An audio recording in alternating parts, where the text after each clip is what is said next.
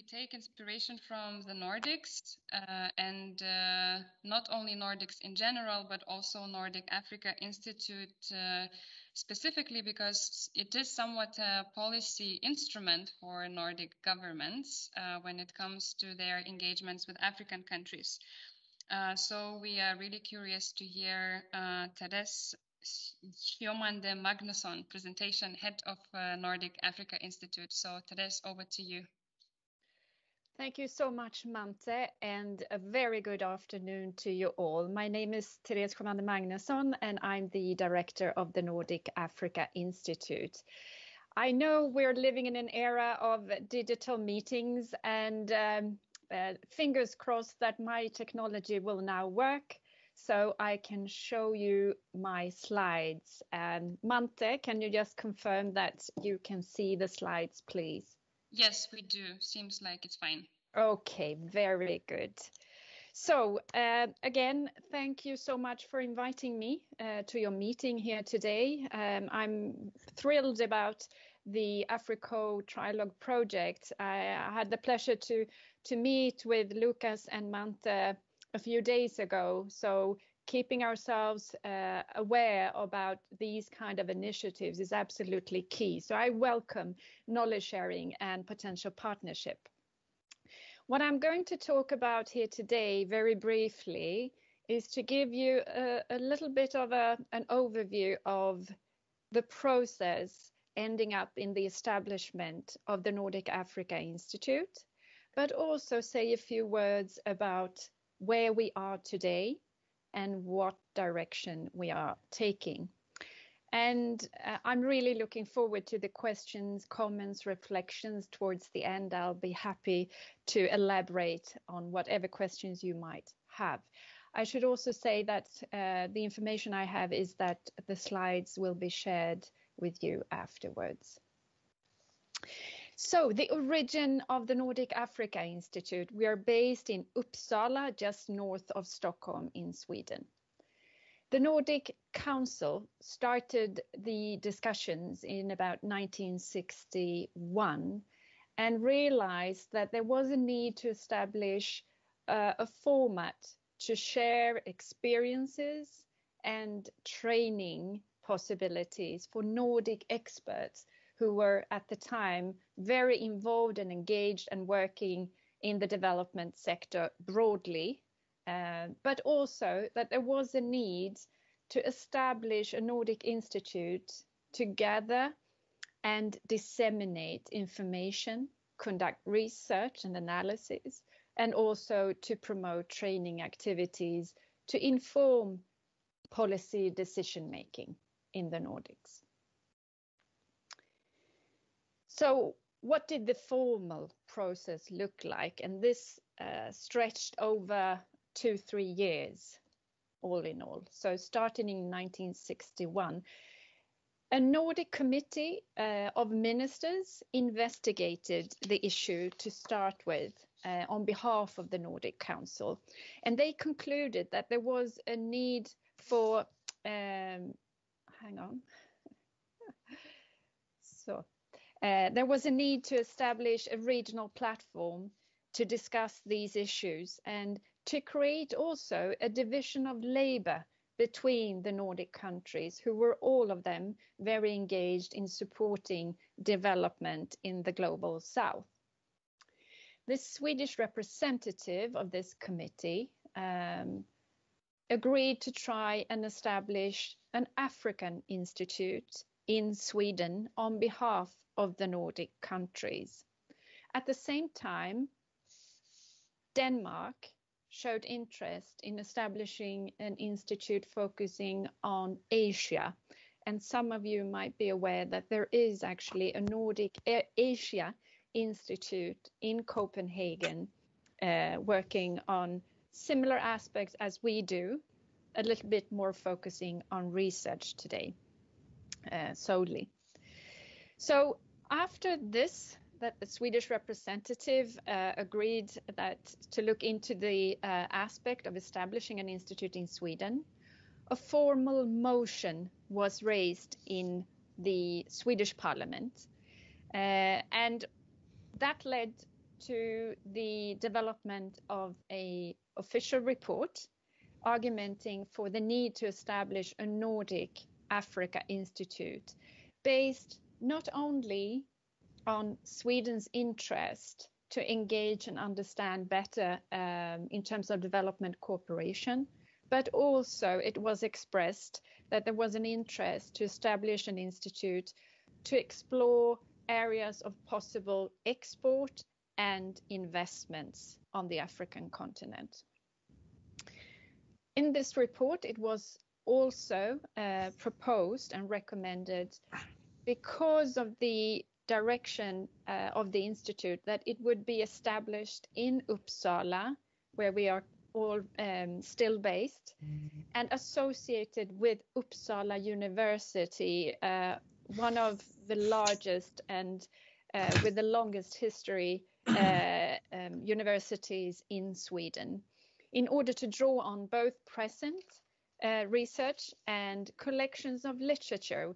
We still host one of the largest special libraries on contemporary African literature in the Nordic region. The Institute formally started in 1962 1963, uh, but it was not until 1964, just after that, that we received the first formal government instruction so as from 1964, we are formally a Swedish public agency, but with funding from several Nordic governments.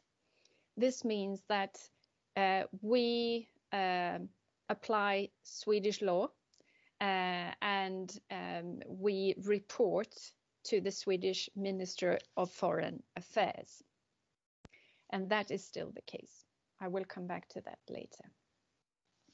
Now, every organization, every institute changes over time, and so has the Nordic Africa Institute, adapting to what's happening around us in the world. So there has been uh, a slight shift uh, in focus of the institute, and the number of Nordic partners have changed slightly over time. In 19, no, sorry, in 2013, Denmark uh, decided to withdraw their funding and Norway did the same two years later in 2015. And the reason was uh, there were apparently I wasn't working for NAI at the time, but there were uh, a couple of reasons, uh, budgetary, political ones. But one argument that was raised was that Denmark and Norway wanted to work more with um, support to research institutes on the African continent. So the second bullet point, uh, that the focus of our institute has more or less shifted from the original idea of training experts and sharing uh, very practical uh, oriented expertise and knowledge to producing research to inform development policy. And I would say that we are uh, we have moved a little bit further in that direction. Today, our focus is to bridge science and policy, but also bringing different development perspectives to the fore. So for the final part of my presentation here uh, today, I'm going to just emphasize a few things uh, in what we are today and where we are going. At the moment, the Nordic Africa Institute has a, an institutional strategy covering 2017 until this year, 2021. So we are right now in the midst of developing our new five-year institutional strategy. Very exciting work, a very inclusive process uh, internally, but where we also engage our external partners to receive input. So as from next year, we will start implementing our next strategy.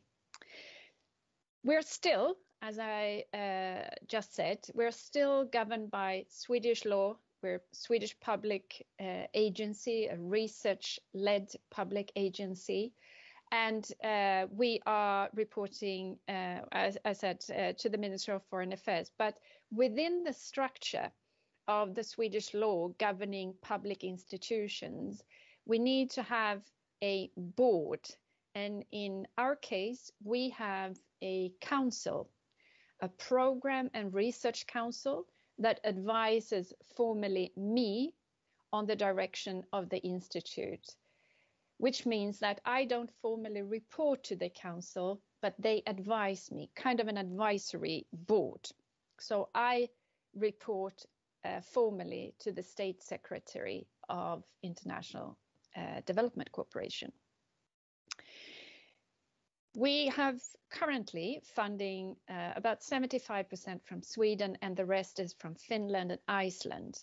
However, we have a member in our council uh, representing Norway, and we have strong academic collaboration both in Denmark and in Norway still. And I see a shift now. Speaking of, of Nordic collaboration, there is a, an emerging um, um, uh, interest to re-engage uh, in the Nordic Africa Institute and Development Cooperation broadly from all the Nordic countries. We produce and disseminate independent research, but today we also have a, a strong um, mandate to engage researchers, thought leaders, policymakers in an evidence-based dialogue on development on the African continent. We formally are instructed to advise and inform uh, Nordic decision makers, which means that we uh, very much uh, see ourselves as translating scientific analysis on social changes on the African continent. So we combine both the production of knowledge, uh, high quality research, but we also have a, a strong department internally um, of communication, skilled communication work, and that really is a huge benefit in terms of uh, tailoring and messaging research into policy advice.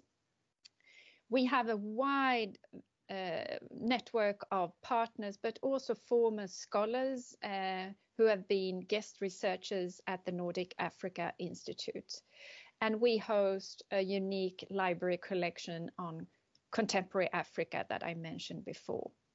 So altogether, that gives us kind of a unique infrastructure to engage on Africa issues in the Nordic countries, uh, bringing knowledge from the continent and from us and partners to the Nordic policy space.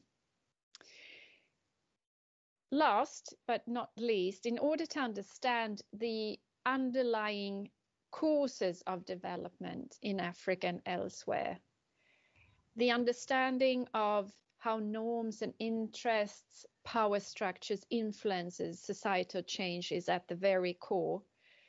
Our mandate is to provide research and analysis in social sciences and humanities.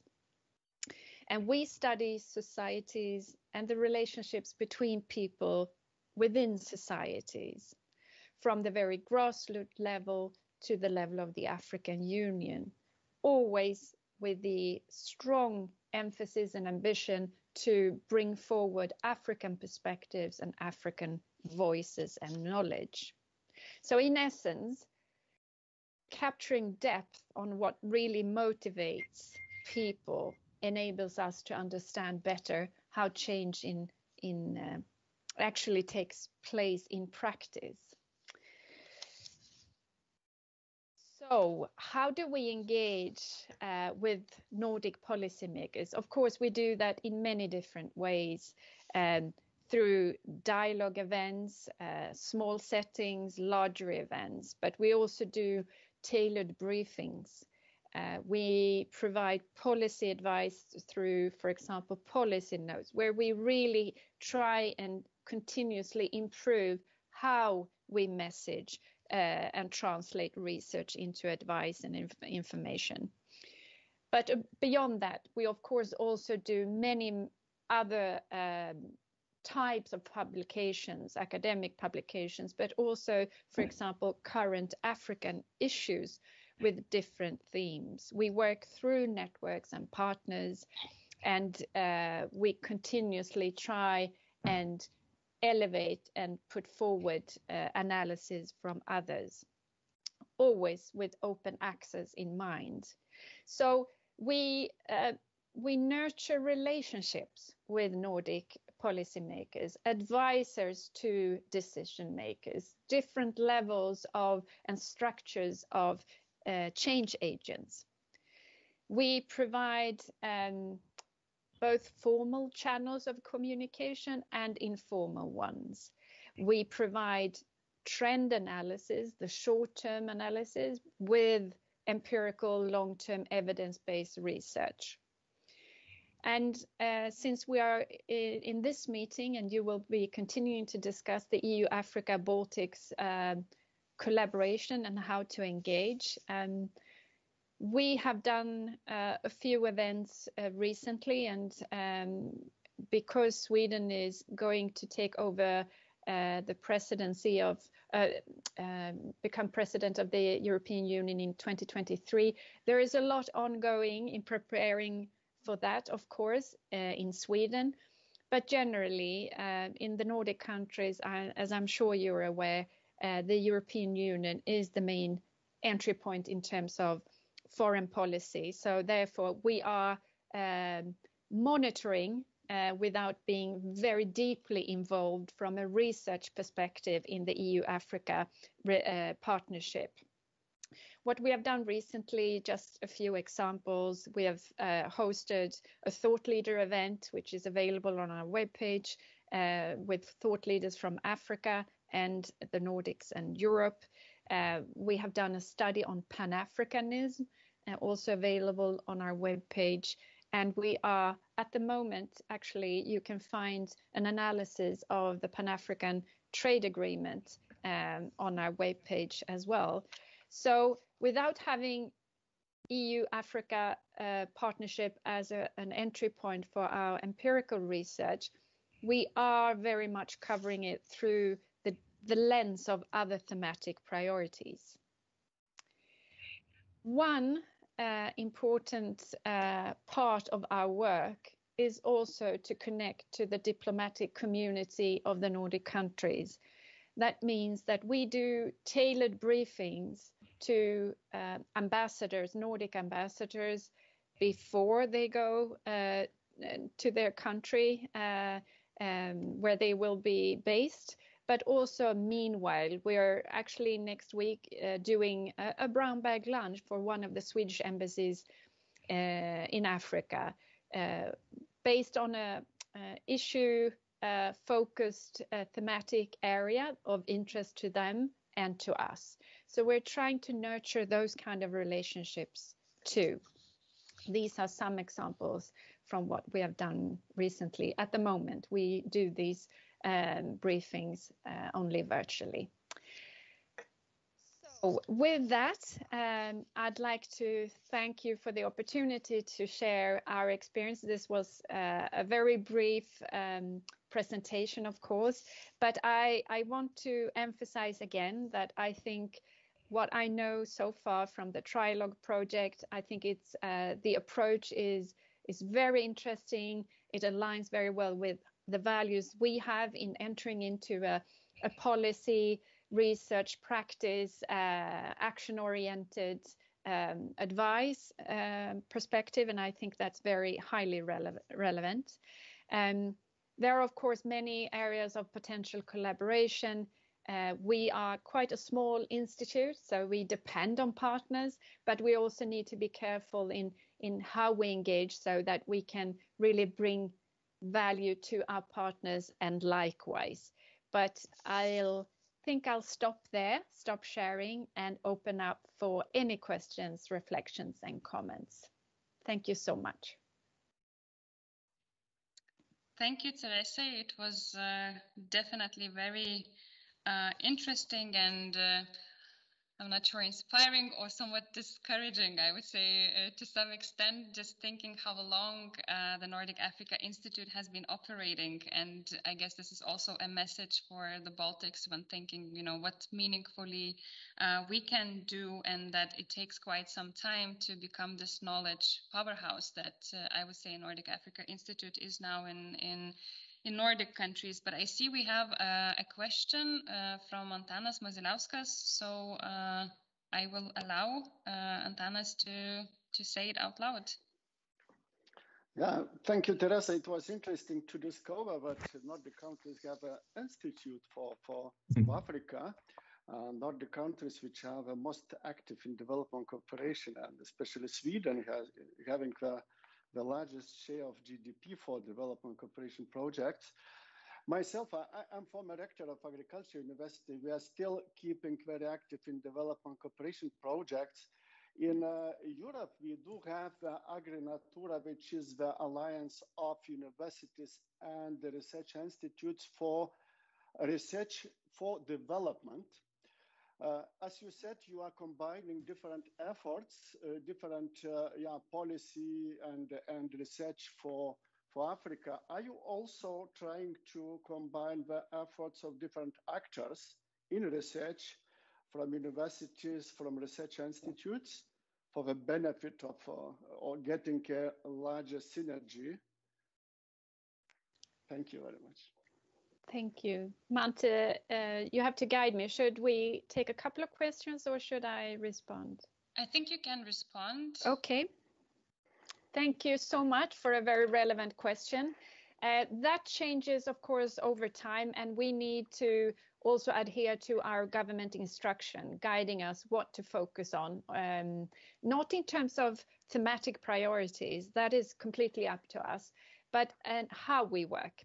So uh, we work with a number of um, research facilities, institutes.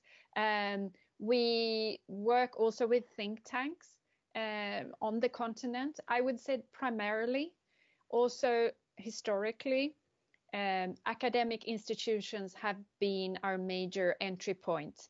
To, so collaborating with universities uh, has been in focus.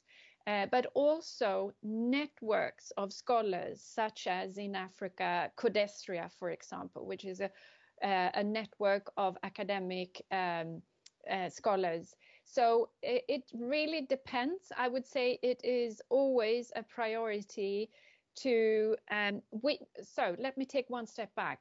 Our mandate is not uh, to uh, give operational advice on uh, how to actually implement. But we do work with uh, the, uh, development research. So I hope that re uh, responded to your question. So a, a, wide variety of actors, yes. Okay, thank, thank you. you. Okay, do we have more questions? Uh, if not, I have one. I don't see any raised hands, so I guess I can I can just ask, uh, sort of following up on on my comment just after your presentation that it takes so much time to build that knowledge and to create an institution that can produce knowledge. So could you think of any suggestions for the Baltics as relatively new actors within this um, EU-Africa relations? So where do we start? What would be the right way of starting? Also having in mind that the EU-Africa relations have some negative context uh, as well, and how we can bring this fresh perspective that Baltics perhaps can can offer. Thank you, Mante. Um, not an easy question, uh, highly relevant. Uh, so I'll, I don't have a, a, clear answer. I would say that there are, uh, as you already know, there are many dimensions, complexities, challenges, but also opportunities with the EU-Africa partnership, future partnership. Um, I think the Nordics, but also the Baltics, have kind of a, a, a different possibility in that we don't really have the historic legacy uh, as colonial powers. So I think finding uh, right alliances to enable and put forward um, strengthen African agency in the dialogue and conversations between EU and Africa and uh, be clear about interests. That's what we have received as a feedback. For example, the high level event that uh, I moderated in November last year between thought leaders from Africa and the, and the Nordic region. Make sure that you are uh, upfront uh, with what the interests are uh, and be uh, a careful listener and be make sure that you can you're able to do trade-offs um, so it's a um, creating a space of respectful um, mutual uh, dialogue on equal terms. And that's why i think the baltics but also the nordic countries have a uh, have a different role to play.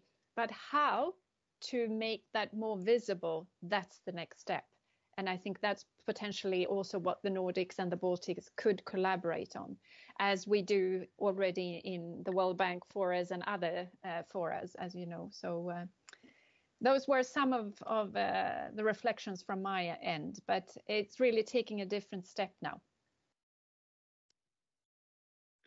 Yes, I think the, the very interesting thing that uh, you mentioned, or also relevant uh, for the Baltics, is that EU is the main entry point, which is definitely for the Baltics when we think of uh, engaging African countries, that EU is that platform. And I take note about the uh, visibility uh, and the effort to bring the perspective perspective forward.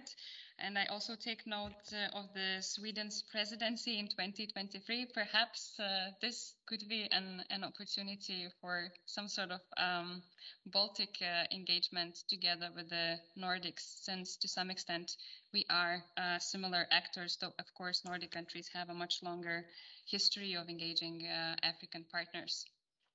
Uh, so just looking at uh, at the time, uh, I think we will uh, have to stop now with the first part uh, and have a few minutes break before we move to the Lithuanian part. But I really want to thank you, Therése, for making the time for joining us.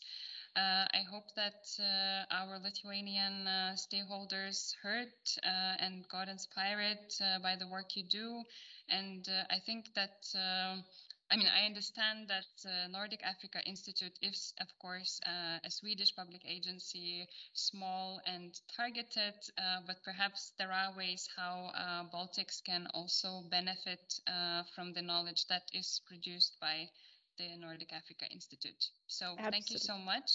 Thank you. And it was truly my pleasure. I look forward to stay in contact.